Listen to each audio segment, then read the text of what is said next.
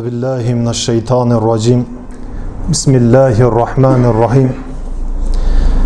Elhamdülillahi rabbil alamin. Essalatu vesselamu ala rasulina Muhammed ve ala alihi ve sahbihi ecmaîn. Amma ba'd. Gökler ve yer dolusu hamd, alemlerin Rabbi olan Allah'adır. Ancak ona ibadet eder ve ancak ondan yardım dileriz. Salat ve selam Muhammed sallallahu aleyhi ve selleme ailesine ve ashabının üzerine olsun. Hasreten Allah'ın rahmeti, bereketi, mağfireti siz değerli kardeşlerimin üzerine olsun. Buraya icabet ederken attığınız her adım sayısınca Allah katındaki kusurlarınız, günahlarınız, ayıplarınız affedilsin. Ve yine buraya icabet ederken attığınız adım sayısınca Allah katındaki takvanız, şerefiniz, izzetiniz artırılsın. İnşallah buradan evlerinize geri döndüğünüzde aile halkınızı, annenizi, babanızı, eşinizi, çocuklarınızı sağlık, afiyet ve hidayet üzere bulmayı Allah hem sizlere hem de bana nasip etsin.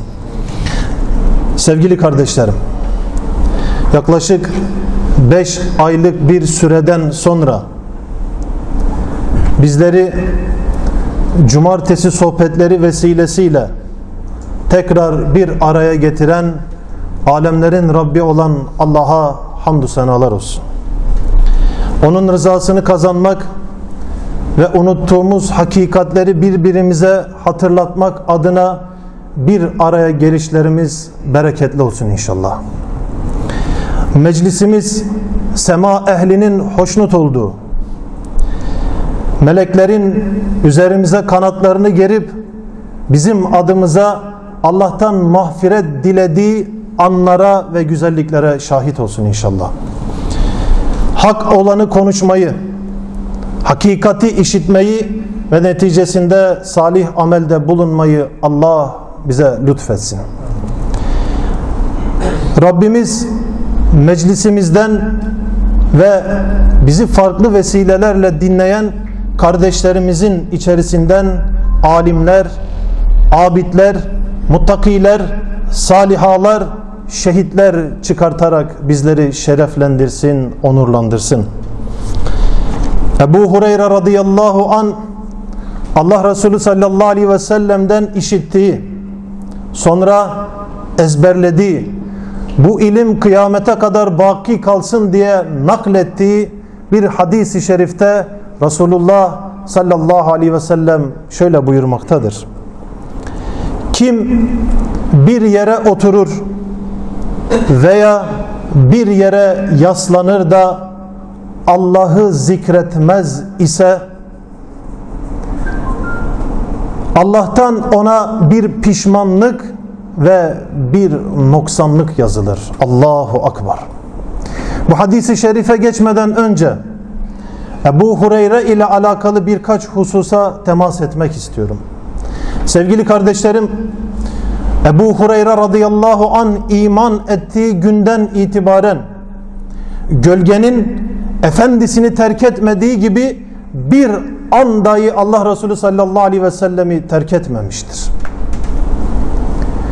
Kendisini Peygamber sallallahu aleyhi ve selleme ve Peygamber aleyhissalatu vesselam'dan öğreneceği ilme vakfetmiş bir sahabedir. Peygamber aleyhissalatu vesselamın mescidinde uyumuş, nebevi mirastan pay almak için her şeyini feda etmiş sahabelerden bir tanesidir. Ne uğraşacağı bir ticareti, ne üzerinde oyalanacağı bir toprak parçası vardı. Kendisinin ifadesiyle yetim büyüdüm, fakir olarak hicret ettim diyen sahabelerden bir tanesidir. O çok iyi biliyordu ki nebevi mirasa sahip olabilmek için canını, malını ve zamanını Allah yolunda feda etmesi gerekmektedir. Bırakın meşru olanları, bırakın üzerinde farz olan ihtiyaçlarını, mübah ihtiyaçlarını karşılama konusunda dahi bir engelle karşı karşıyaydı ilim kapısını açtığı günden itibaren. Allah Resulü sallallahu aleyhi ve sellem döneminde şöyle bir vakasını anlatmaktadır. Aç kaldım. Açlıktan dolayı karnıma taş bağladım. Açlıktan bitap düştüm. Bir kenarda oturduğum sırada Ebu Bekir radıyallahu anh ile karşılaştım. Hazreti Ebu Bekir radıyallahu an ahvalini anlasın, muhtaçlığını fark etsin, açlığını hissedip elinden tutup evine götürsün diye dikkat et aziz dostum bildiği çok iyi bildiği hem de belki amel de ettiği belki kendisiyle fetva verdiği bir ayeti Ebu Bekir'e sordum diyor radıyallahu an. Hazreti Ebu Bekir beklenilen cevabı verdi ancak yoluna devam etti. Biraz daha oturdu. Aynı açlık bu sefer onun kalkmasına neden olmadı. Kalkamadı bir türlü. Bu sefer Ömer bin Hattab'la karşılaştı. Hani beni anlar, açlığımı fark eder, ihtiyacımı giderir duygusuyla Ebu Bekir radıyallahu anh'a yaptığı, sorduğu soruyu aynı şekilde Ömer bin Hattab'a sorar. O da cevap verir ancak elinden tutup evine götürmez. Kınamıyoruz kardeşim. Kınamıyoruz. Yahu sen koskoca Resulullah sallallahu aleyhi ve sellemin daha sonra vefat ettiğinde olacak halifesisin. Allah Resulü sallallahu aleyhi ve sellem insanlar içerisinde en fazla seni seviyor. Yahu sen hikmet ehli bir adamsın. Ey Ebu Bekir vallahi ben olsaydım Ebu Hureyre'nin gözlerinden tanırdım. Sen nasıl ona yardım etmezsin diyerek kınamıyoruz. Neden kınamıyoruz? İnsanlar. Melek değiller. Aynı hikmeti her zaman sergileyemezler. Ancak biz şunu da biliyoruz. Ebu Hureyre radıyallahu anha nasıl bir yoksulluk, açlık ve susuzluk isabet ettiyse o koca Ebu Bekir'e de o koca Ömer bin Hattab'a da radıyallahu anhuma aynı açlık ve sefalet boyunlarına asılmıştı. Allahu Ekber. Yapacakları bir iyilikleri yoktu. O yüzden kendileri sanki fark etmemiş, hissetmemiş edasıyla evlerine doğru devam ettiler. Sen de olsan aynısını yapardın. Sen de olsaydın aynısını gerçekleştirirdin. Dikkat et ama ne Ebu Bekir ne Ömer bin Hattab radıyallahu anhuma asla tevhile girmemişler. Yardım etmedim çünkü Ebu Hureyre'nin biraz da çalışmasını istiyordum. Yeter artık peygamberin mescidinde yattın. Yeter artık ümmetin verdikleriyle geçindin. Biraz kalk pazarlara çık çarşılara çık ona bir ders vermek için demedi kardeşim tevillere girmedi. Seninle benim gibi boş tevillerin içinde dolaşmadı. Boyunlarını büktüler, evlerinin yolunu devam ettiler. Onlara yakışacak olanı yaptılar o gün. Ancak Allah Resulü sallallahu aleyhi ve sellem geldi. Bakın bu sözler Ebu Bekir değil. Bu sözler Ömer bin Hattab değil. Bizzat açlığın ve sefaletin içerisindeki Ebu Hureyre'nin sözüdür. Peygamber aleyhissalatu vesselam mağdurluğumu yüzümden diyor okudu. Bakın Ebu Bekir söylemedi. Ya Resulallah yolun kenarında çok sevdiğin taleben var. Ömer bin Hattab söylemedi. Ya Resulallah o hadis alimi, hadisleri ezberleyen, hadisleri insanlara ulaşsın diye mücadele eden Ebu Hureyren aç sefil demedi. Allah Resulü sallallahu aleyhi ve sellem benim diyor açlığımı, mağdurluğumu, muhtaçlığımı yüzümden okudu. Kime bir ders var Şakir abi? Elinin altında idare ettiği idarecilere bir ders var kardeşim. Sokağın idarecisine bir ders var. Derneğin idarecisine bir ders var. Ebu Bekir fark etmeyecek. Ömer bin Hattab görmezden gelecek. Çünkü onlar idare edilenler. Ama Resulullah sallallahu aleyhi ve sellem ve onun gibi idareciler muhtaç olan kardeşinin yüzünden okuyacak açlığına. Peygamber aleyhisselam bize onu öğretiyor. Ahireti için dert döktüğümüz, cenneti için çabaladığımız, sürekli nasihatte bulunduğumuz, İslam terbiyesiyle yetişsin diye gayret gösterdiğimiz kardeşlerimizin mahdi ihtiyaçlarını karşılama konusunda da gayretkeş olacağız. Ama ne için? Temel ihtiyaçlarını karşılama konusunda. Ebu Hureyre radıyallahu an temel bir ihtiyaca sahibi, sahipti. Açlık, susuzluk değilse perdesini değiştirmek için değil. Arabasının modelini yenilemek için değil. Giydiği ayakkabı daha eskimeden değiştirmek isteyene değil. Aç mısın kardeşim şu dernekte? Sabah aç olarak mı kalkacaksın? Şu mescidin idarecisi kimse Allah sorumluluğu onun boynuna asmıştır. Kıyamet gününden sorumlulukla Allah'ın huzuruna çıkacaktır. Yok öyle bedavadan idarecilik yapmak. Lan gel yat, akşam olduğunda insanlara nasihat et. Sevk idare ettiğini zannet. Sonra kardeşin geceleyin şu sokaklardan evine geç saatte gitmeyi tercih edecek. Niye biliyor musunuz? Aman evladım uyusun da bir lokma ekmeği babam getiremedi demesin diye. Allahu Ekber. Senin ve benim böyle kardeşim varsa evet onun idaresi, onun sorumluluğu senin ve benim boynuma asılmıştır. Ama değilse değilse kusura bakmasın elbisesini yenilemek, giydiği gömleği değiştirmek adına böyle bir ihtiyacı kimse görmek zorunda değildir. Ama açlığı görmek zorundayız aziz dostlar. Resulullah Aleyhisselam bunu okudu sahabenin elinden tuttu evine kadar getirdi. Şimdi nakil Ebu Hureyre'ye ait. Diyor ki Allah Resulü sallallahu aleyhi ve sellem kendisine hediye edilen ikram edilen süte uzattı. Bir anda durdu Ebu Hureyre'ye seslendi. Dedi ki ya Ebu Hureyre git bana dedi suffe ehlini çağır. Allahu Ekber. Ne olacak ki? Ebu Hureyre'ye büyük bir vesvese geldi.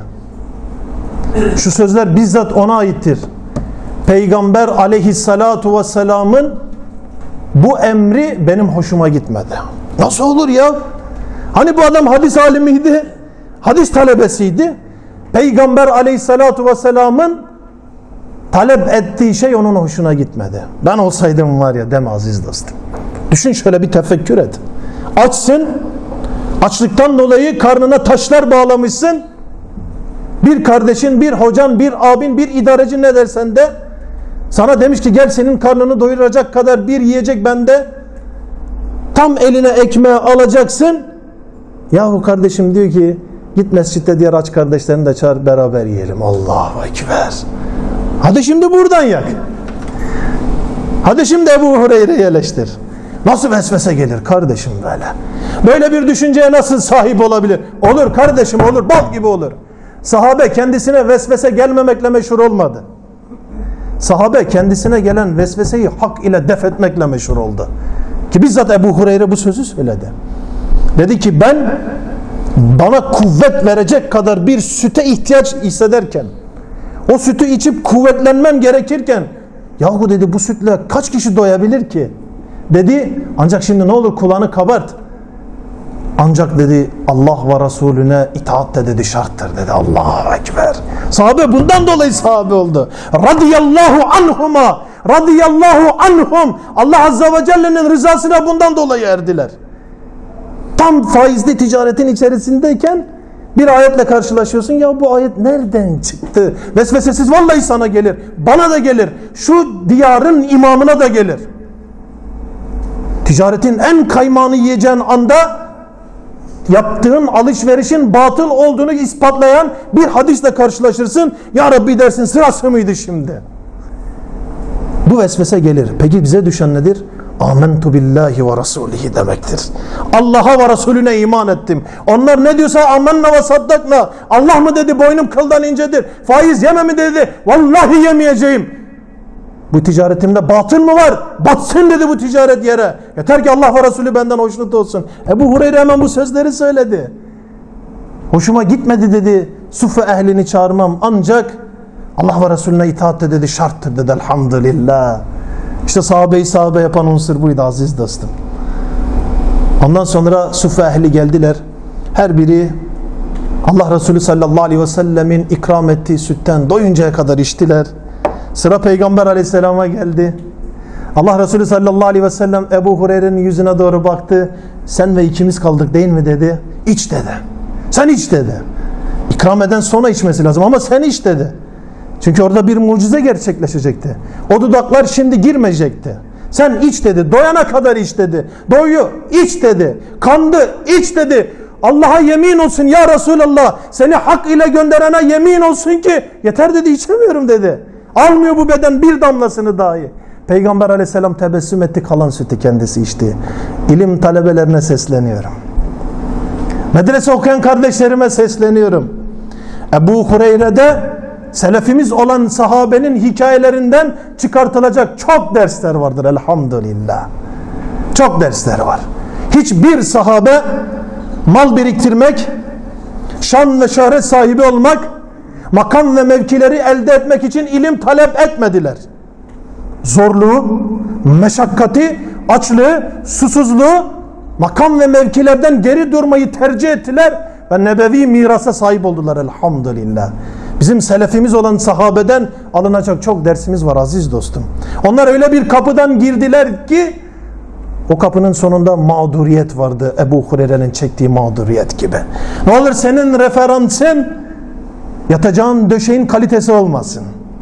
Ne olur senin referansın yürüyeceğin koridorların genişliği olmasın. Ne olur senin referansın yemekhanende pişen yemekler olmasın.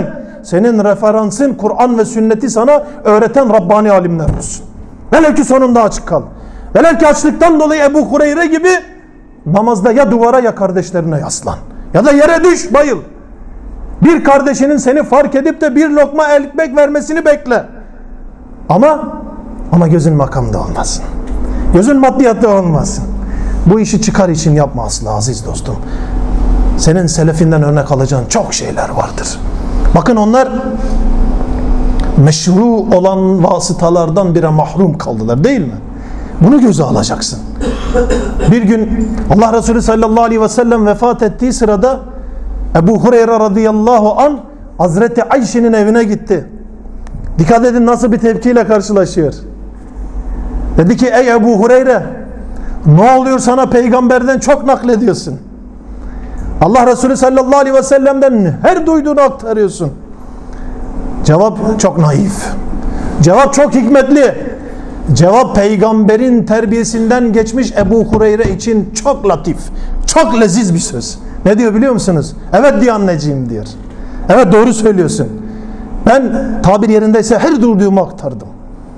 Her bildiğimi insanlara aktardım. Ancak şimdi dikkat edin sözleri. Beni bu işi yaparken oyalayacak ne bir aynam ne sürmeliklerim diyor ne de kokularım oldu Allahu Ekber. Yani beni oyalayacak meşru bir şey bile olmadı. Ya Ayşe radıyallahu anha. Hazreti Ayşe anladı. Fark etti. Kendisi de alim. Kendisi de Ebu Hureyre gibi hikmet, feraset sahibi bir kadın. Ona döndü ve bu sözünü tasdik edecek şekilde öyledir dedi. Öyledir. Allahu Ekber. O yüzden ilim talibi gençler, genç kardeşlerim. Bu yol meşakkatli bir yoldur. Sonu cennettir inşallah. Bu yol zor bir yoldur. Sonunda açlık vardır. Bitap düşmek vardır. Okuduğunuz kurumlardan, ders aldığınız şahsiyetlerden dolayı makam ve mevkilerden kovulmak vardır. Gittiğiniz kurumlardan atılmak vardır. Ne olursa olsun meşru vasıtalardan mahrum kalma pahasına Allah'ın kitabını ve Resulünü öğrenme yolunda şerefli bir şekilde yürü. Buradan seslenmek istediğim bir grup da var. Hazreti Ayşe radıyallahu anhanın genelde birçok sahabeye özelde Ebu Hureyre'ye yaptığı tenkitleri fırsatçılık bilen kişilere sesleniyorum. Hainsiniz. Hainsiniz. Peygamber sallallahu aleyhi ve sellemin siretini onun pak sünnetini itibarsızlaştırmak için Ebu Hureyre ve Ebu Hureyre gibi radıyallahu anhuma sahabelerin merhametine, ilmine, hikmetine, ferasetine ve adaletine göz dikecek, dil uzatacak kadar hainsiniz. Özellikle sesleniyorum. Batı menşeli ideolojileri reddederek muvahhid olduğunu söyleyenler. Amerika'nın, İsrail'in, İtalya'nın, Fransa'nın demokrasisini, laikliğini, Roma hukukunu kabul etmiyorum. Bundan dolayı da ben muvahhid bir kisveyim. Ben muvahhid bir insanım. Benim dışımda kalanlar üç soru deyip de batı ürünü oryantalizm silahıyla hadisi hadis usulünü muhaddisleri ve aynı zamanda sahabeyi arkasından vuran hainlersiniz sizler. Sizler Hristiyanların ve Yahudilerin kitaplarını parçalayıp bölümlere ayırıp hükümsüz kılıp uydurma hale getiren bir zihniyetin Kur'an'a Allah'ın Resulü'nün sünnetine el uzattırıp onların turu ve atına soyunmuş insanlarsınız. Evet beşeri ideolojileri reddettiniz. Laikliğin karşısında durdunuz. Demokrat babam da olsa dedi karşısınız. Secdeli demokrat olmaz dediniz. Demokrasiyi seven bir Müslüman olmaz dediniz. Haykırdınız. Ama gittiniz demokrasi fikrini yumurtlayanları hadis anlayışlarını bu topluma hakim kılmaya çalıştınız. Ebu Hureyre radıyallahu anh ile konuşurken de hikmetten, irfandan, ilimden ve ahlaktan uzak sözler söylediniz. Hainsiniz. Allah'ım biz senin kitabında övdüğün ben onlardan razıyım dediğin hem de nefes alıp verirken Peygamber sallallahu aleyhi ve sellemin ümmetin eminidir, ümmetin emniyetidir, ümmetin sigortasıdır dediği sahabeyi vallahi her bir ferdini seviyoruz. Biz senin peygamberinin mirasına sahip çıkan önce dinleyen sonra ezberleyen sonra amel eden sonra anlaşılsın ve yaşansın diye İstanbul'un surlarına kadar yola çıkan bakın kusura bakmayın isteselerdi Medine'de vakıf kurarlardı kurmazlar mıydı abi her bir sokağına dernek açarlardı bizim gibi otururlardı kendi arasında hadis derdi burada ayet burada fıkıh burada hikmet burada Kur'an'ın ayetlerinin neden indiğini öğrenmek isteyenler, nuzulu sebebi bilmek isteyenler bana gelsin diyen bir İbni Abbas kendi derneğini açardı. Tüm bunları ellerinin tersiyle itip sokak sokak, diyar diyar, ülke ülke dolaşan o yalın ayak, çıplak insanları vallahi ya Rabbi biz seviyoruz. Özellikle Ebu Hureyre'yi seviyoruz. Ebu Hureyre'nin annesini seviyoruz. İlme olan muhabbetinden ilmi yayma konusundaki gayretinden dolayı düşmanlar edinen Ebu Hureyre'yi ve annesini biz vallahi biz çok seviyoruz. İşte o, o Ebu Hureyre radıyallahu an Peygamber sallallahu aleyhi ve sellem'den şöyle işitti. Allah Resulü sallallahu aleyhi ve sellem'den şöyle aktardı. Kim bir yere oturur veya bir yere yaslanır da Allah'ı zikretmezse, Allah'ı anmazsa Allah'tan ona bir pişmanlık ve bir noksanlık yazılır. Ne olur kardeşlerim? Hava sıcak. Sayımız kalabalık. Ne olur kendimizi toparlayalım. Şu an kendimize bir çeki düzen verelim. Peygamber sallallahu aleyhi ve sellem hadisinde iki şeye vurgu yapıyor. Birincisi diyor pişmanlık. İkincisi noksanlık. Nedir bu pişmanlık? Neyin pişmanlığı? Kim böyle bir pişmanlığın içerisine girecek sorusunun cevabı oryantalist fikirli insanların cevabı değildir. Ebu Hureyre'ye dillerini uzatanların değildir. Onlar bana bu konuda asla bir yol açamazlar. Ümmetin daralan kanallarını genişletemezler. Cevap Ebu Hureyre kanalından gelen sözdür. Çok hadis rivayet eden, çok hadis rivayet ettiğinden dolayı alay konusu haline getirilen Ebu Hureyre radıyallahu anh'tan Allah Resulü sallallahu aleyhi ve sellem bir gün bir mecliste otururken ne olur kardeşlerim buraya dikkat edin şöyle buyurdu dedi ki ölen her insan pişman olacaktır. Allahu Akbar. Ölen her insan pişman olacaktır. Bu sözler kime söyleniyor biliyor musun Furkan kardeş? Ahirete kendini hedeflemiş. Ahiret merkezli yaşayan. Ayakları toprakta ama ruhu cennet bahçelerinde gezinen ashaba sesleniyor Peygamber aleyhisselam. Diyor ki ölen her bir kimse mutlaka pişman olacaktır.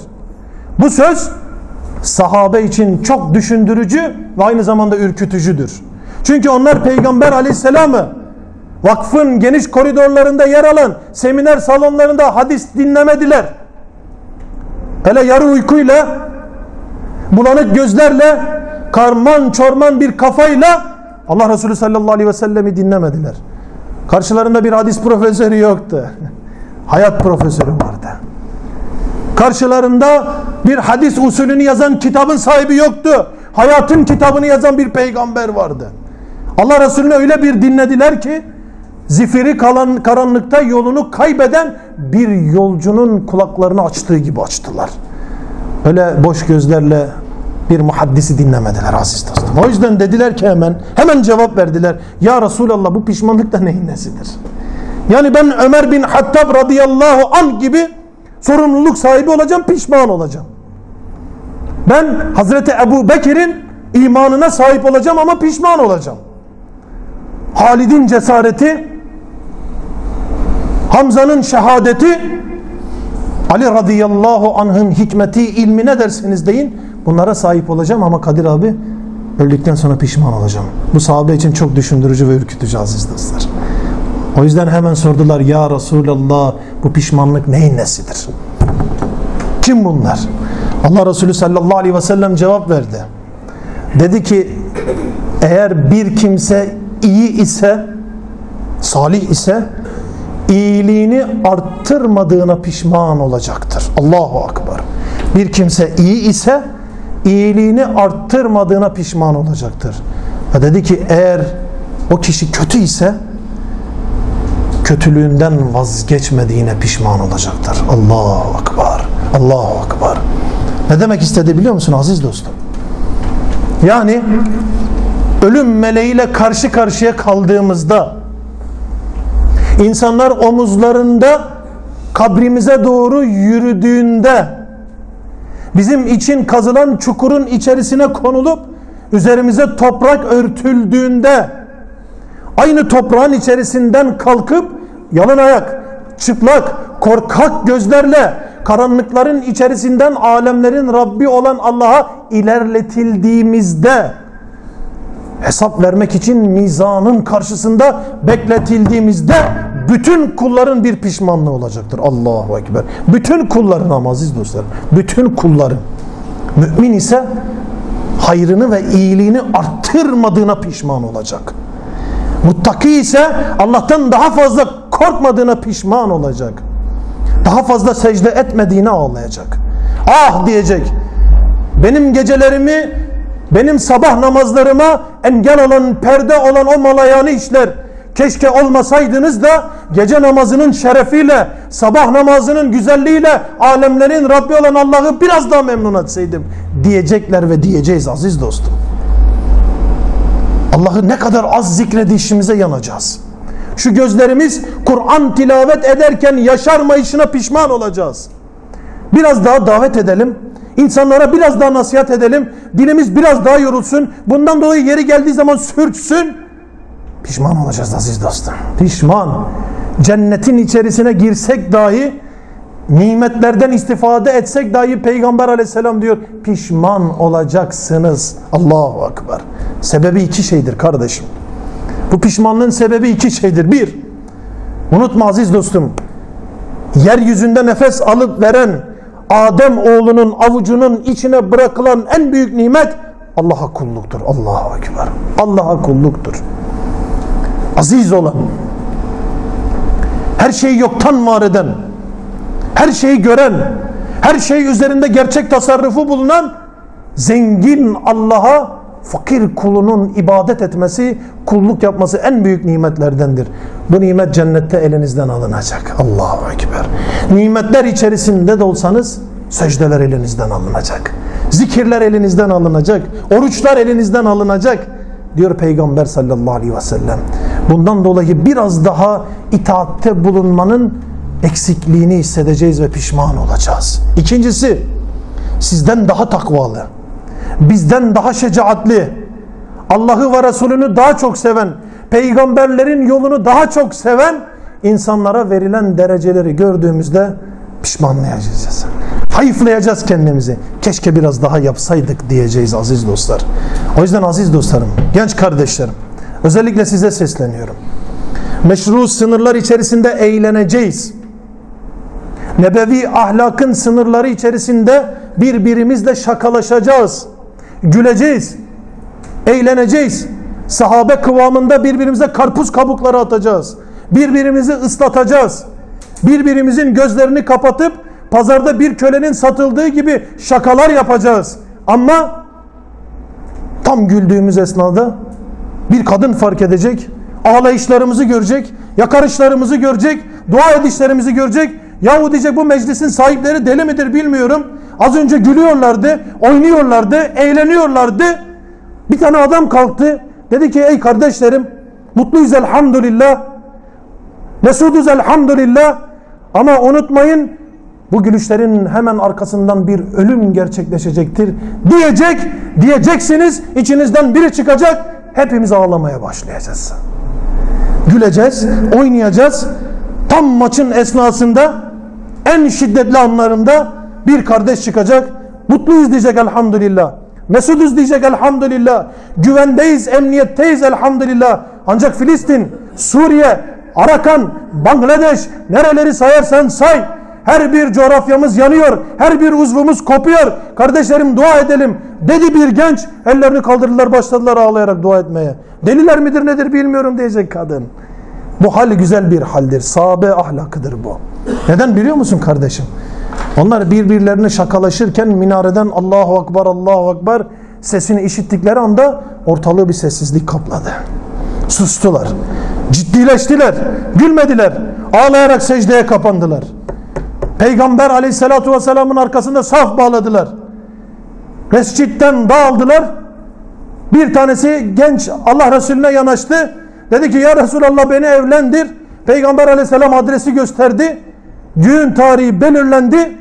Tam çarşıdan alışveriş yapma vaktiydi. Aynı miraneden hayyalel cihat sesleri çıktı. Allah Resulü'nün ve Allah Resulü'nün belirlediği bir komutanın arkasında saf bağlayarak cihat meydanına gitti. Yahu şu düğün hazırlığı bitsin demedi. Ondan sonra gideriz. Ya daha başka cihat mı yok be kardeşim? Allah Resulü devam eder. Ondan sonra biz de yolumuza devam ederiz. Allah Resulü ölür. Biz sahabenin yolunu takip ederiz diyemez miydi? Aynı kişi şehadete kavuştu. Aynı kişi yaralı bir şekilde veya evine geldi. Aynı kişi evliydi. Belki bir çocuğa sahipti. Hanımı dedi ki ey bey inna lillahi ve inna ileyhi raciun. Çocuğumuz dedi vefat etti dedi.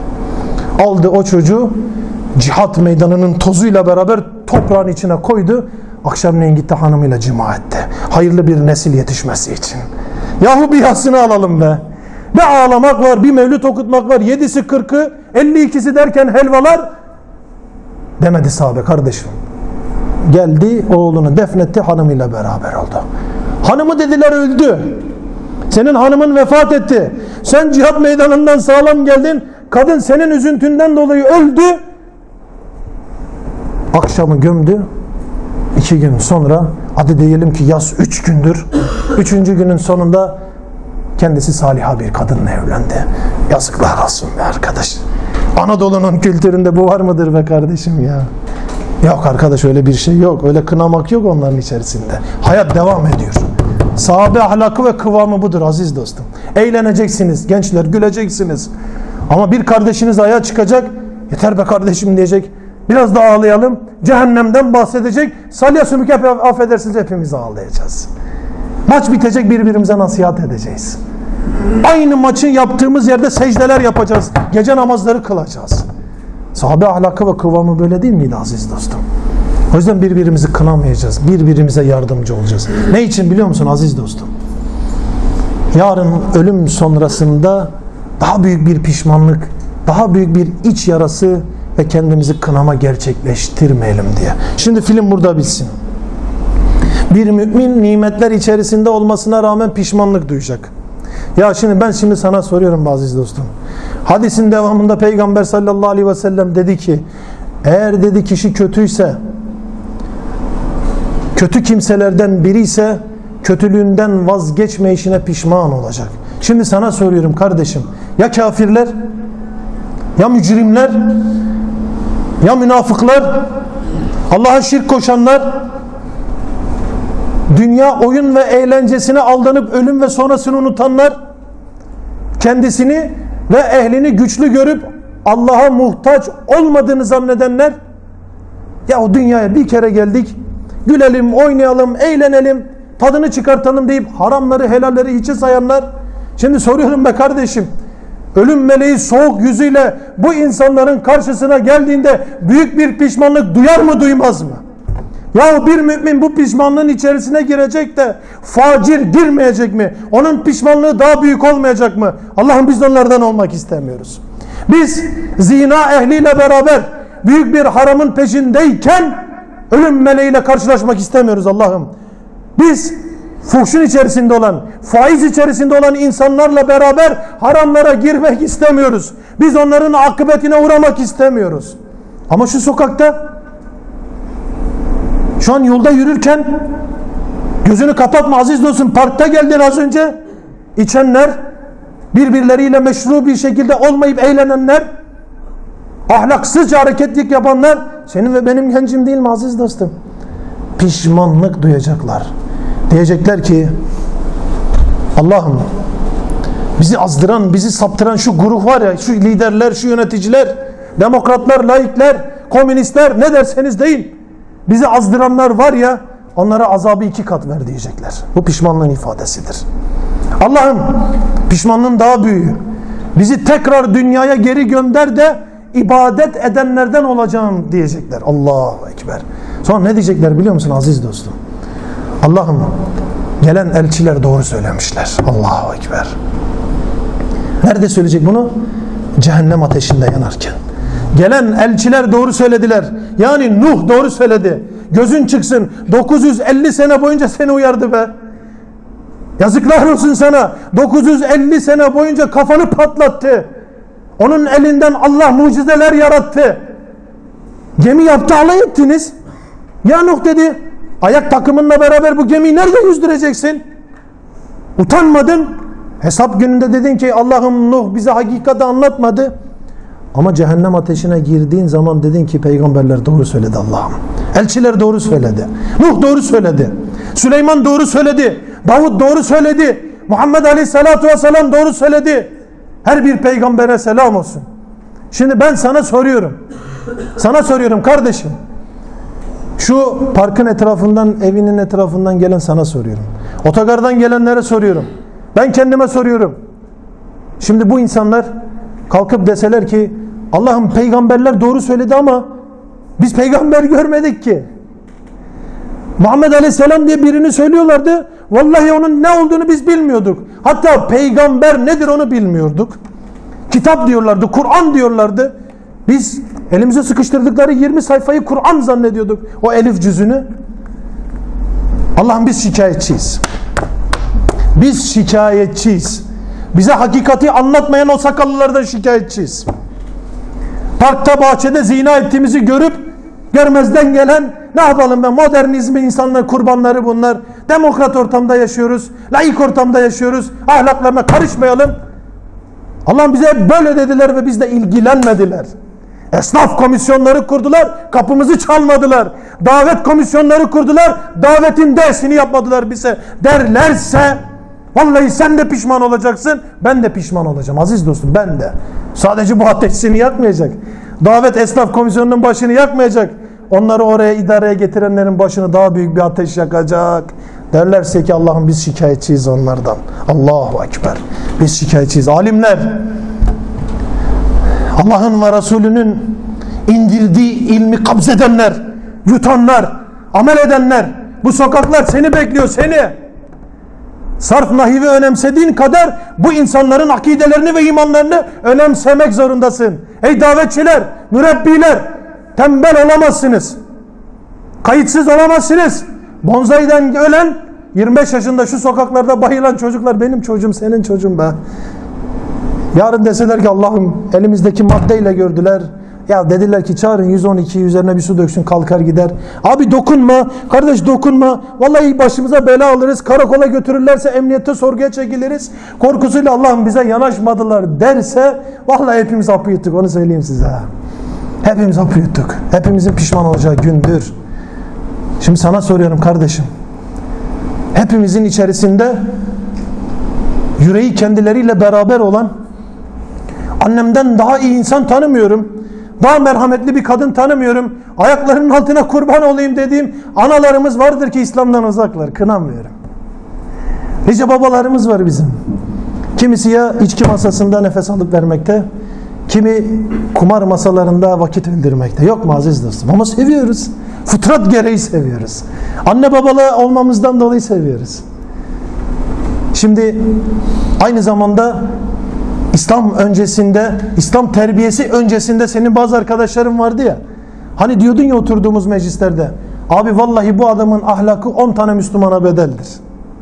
Bu adam bir iman etsin, yemin ediyorum var ya 10 tane Müslümana bedel bir adam olur dediğin adam var ya.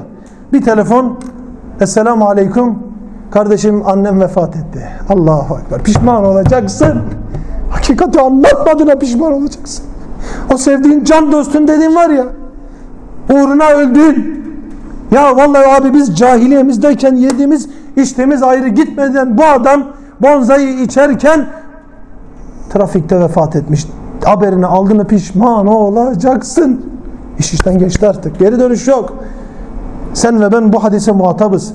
Resulullah sallallahu aleyhi ve sellem dedi ki kim dedi bir mecliste oturup da Allah'ı anmazsa, zikretmezse, zikretmeden kalkarsa ölmüş eşek etini yiyip kalkanların durumuna benzer dedi Allah Resulü sallallahu aleyhi ve sellem.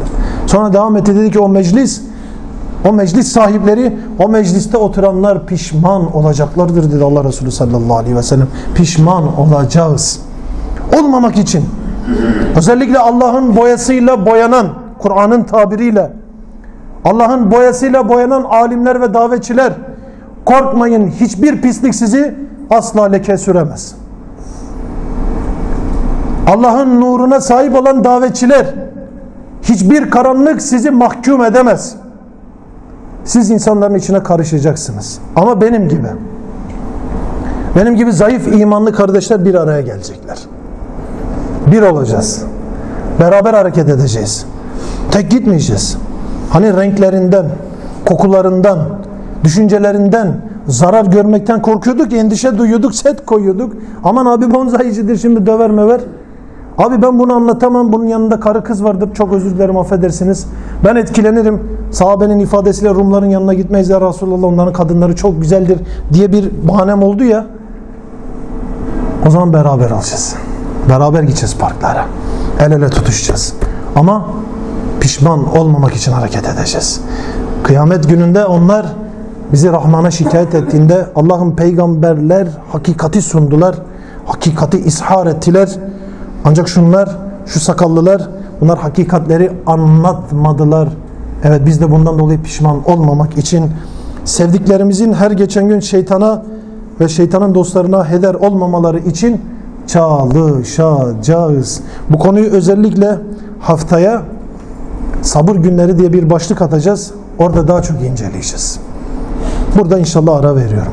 Allah Resulü sallallahu aleyhi ve sellemin hadisin ikinci kısmında geçen konuya çok az değineceğim, bitireceğim.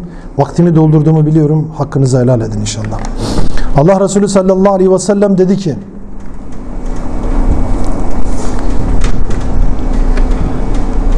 eksiklik yazılır, noksanlık yazılır. Bu soruya da cevap arıyoruz. Bu sorunun cevabı da